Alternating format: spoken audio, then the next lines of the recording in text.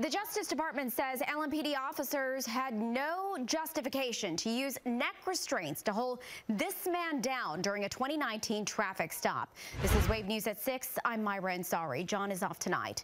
The Justice Department's 86-page report on LMPD has several examples of officer misconduct, excessive force, discrimination, constitutional violations. Wave News reporter Mark Stevens shows us one example tonight. Mark.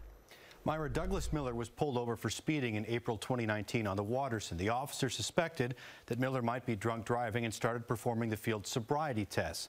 Miller hesitated to take the breathalyzer. What happened next reveals why the Justice Department has concerns about officers using neck restraints. Are you going to do this or not? It's your choice. So I, I kind of hesitated, and he says, well, you're under arrest. James, turn around for me. Just put your hands behind. No, look, I'll do it. I'll do your test. I'll do your test. I'll, I'll take your test. In the span of 10 seconds, the officer pushes Douglas Miller to the ground. Watch the officer's right hand. Get on the ground! Roll over right now! 1135, start me a car, one fighting. Roll over on your stomach now! The officer uses a one hand chokehold on Miller before rolling him over. That's when another officer comes to help. And he punched me right in the face and then just started pounding on me. Yes, at this point, you are under arrest. And I told you that before. Now you got resisting. A report from the Justice Department says the LMPD officer pressed his forearm into Miller's neck for a minute. A third officer, who comes running in, presses his knee against Miller's neck for another minute. Please, you're, you're really hurting me. Oh, God, please, please, stop, stop. Quit moving.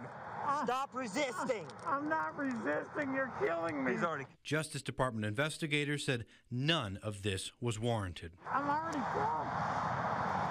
Oh, please, stop. Photos taken after the arrest show Miller's injuries that included a black eye and bruising from a ruptured artery. Miller gave a statement to the department's professional standards unit. He also wrote a letter to former LMPD Chief Erika Shields asking for help looking into his complaint. Miller says the public integrity unit refused to take his statement. Oh, look at my leg. I couldn't walk. There's no reason for that. No reason for any of it. I'm already gone. The Justice Department says LMPD's investigation of this incident was deficient. It said the supervisor mischaracterized the chokehold and missed the knee to Miller's neck. The supervisor said the officer's actions followed LMPD policy. Chief Shields ordered an administrative investigation, but the DOJ says that investigation was deficient too. The second investigator searched the web for a one handed chokehold and compared that to the officer's actions instead of comparing what happened to LMPD's own standards. Again, clearing the conduct. Miller has lost faith in LMPD. There should be a, somebody outside of LMPD to make that judgment. I mean, otherwise, nobody's going to have faith in it. Now, Miller is suing the officers in federal court. That case has been on hold while the criminal case against him unfolded. That ended early February. He pleaded guilty to speeding. Charges of resisting arrest, criminal mischief, and operating a car under the influence were dropped. The officer resigned from LMPD in December 2021. Mark Stevens, Wave News. All right, thank you.